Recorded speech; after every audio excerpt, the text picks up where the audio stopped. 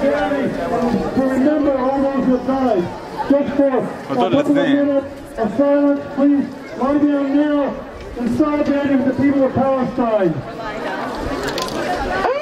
on the ground. Uh, we're sitting down? Yeah.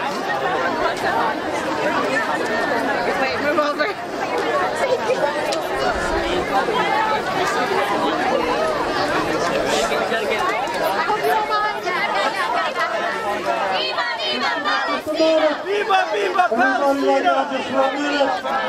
We're going to have a message from someone in Gaza.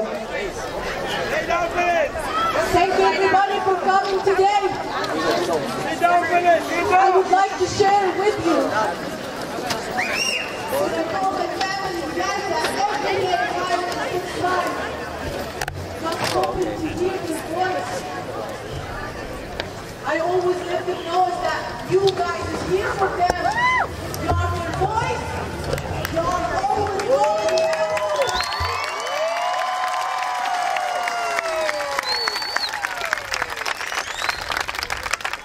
The people need you, need your support.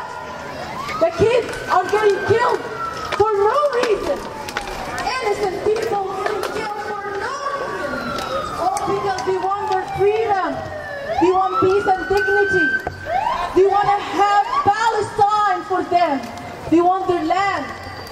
Israel keep bombing houses, killing kids. And it's really good for them to know that you're here for them. I'm not sure if you all hear the voice of my sister when I was trying to share her message.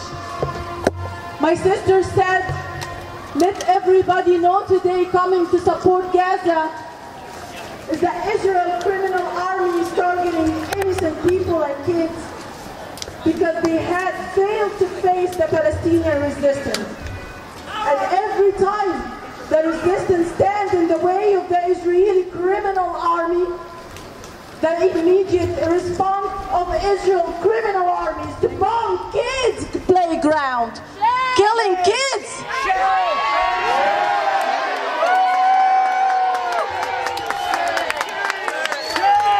My sister is asking the whole world to help Palestinians to live in peace and dignity.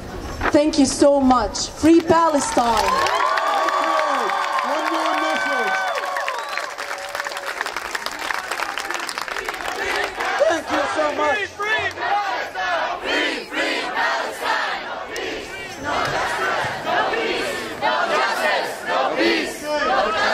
One more message. Then we're going to have a moment of silence, and then we're going to rise up and we're going to go head, get together and go back to the federal building on the street in a few minutes. But first, we have a message from one of the brothers here.